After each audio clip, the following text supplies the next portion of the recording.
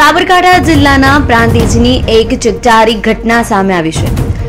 Sabarkantha પ્રાંતિજના railway station વિસ્તારમાં આવેલા વૃંદાવન સોસાયટીમાં રાત્રિના સમયે તસ્કરો ત્રાટક્યા હતા.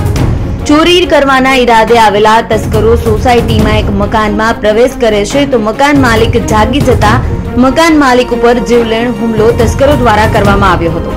રાત્રિના સમયે ઘરમાં ઘૂસેલા તસ્કરોએ મકાન માલિક જાગી જતા જીવલેણ હુમલો કરી અને ઈજાઓ પહોંચાડી હતી. ઈજાગ્રસ્ત મકાન માલિકને માથાના ભાગે જીવલેણ ઈજાઓ પહોંચી હોવા છતાંય તસ્કરો સાથે બાથ ભીડી હતી. તો મકાન માલિકે બૂમાબૂમ કરતા જીવલેણ ઈજાઓ પહોંચાડી ચોરીના ઈરાદે ઘરમાં ઘૂસકેલા તસ્કરો ત્યાંથી ભાગી ગયા હતા. મકાન માલિક અશોક કુમાર કાંતિલાલ રાવલને જીવલેણ ઈજાઓ થતા રાત્રિના બે વાગ્યે લોહી લુહાણ હાલતમાં એકસો આઠ મારફતે તેઓને સારવાર અર્થે ખસેડવામાં આવ્યા હતા.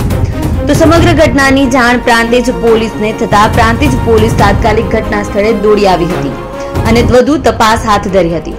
તો આ ઘટનાને લઈને સોસાયટીના રહીશો તથા નગરજનોમાં ભયનો માહોલ જોવા મળી રહ્યો છે.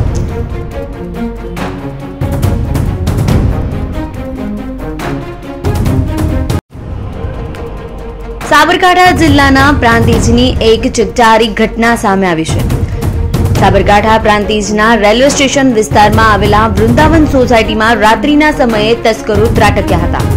ચોરી કરવાના ઈરાદે આવેલા તસ્કરો સોસાયટીમાં એક મકાનમાં પ્રવેશ કરે છે તો મકાન માલિક જાગી જતા મકાન માલિક ઉપર જીવલેણ હુમલો તસ્કરો દ્વારા કરવામાં આવ્યો હતો. રાત્રિના સમયે ઘરમાં ઘૂસેલા તસ્કરોએ મકાન માલિક જાગી જતા જીવલેણ હુમલો કરી અને ઈજાઓ પહોંચાડી હતી. ઈજાગ્રસ્ત મકાન માલિકને માથાના ભાગે જીવલેણ ઈજાઓ પહોંચી હોવા છતાંય તસ્કરો સાથે બાથ ભીડી હતી. તો મકાન માલિકે બૂમાબૂમ કરતા જીવલેણ ઈજાઓ પહોંચાડી ચોરીના ઈરાદે ઘરમાં ઘૂસકેલા તસ્કરો ત્યાંથી ભાગી ગયા હતા. મકાન માલિક અશોક કુમાર, કાંતિલાલ રાવલને જીવલેણ ઈજાઓ થતા રાત્રિના બે વાગ્યે લોહી લુહાણ હાલતમાં એકસો આઠ મારફતે તેઓને સારવાર અર્થે ખસેડવામાં આવ્યા હતા. તો સમગ્ર ઘટનાની જાણ પ્રાંતિજ પોલીસને થતા પ્રાંતિજ પોલીસ તાત્કાલિક ઘટના સ્થળે દોડી આવી હતી અને વધુ તપાસ હાથ ધરી હતી.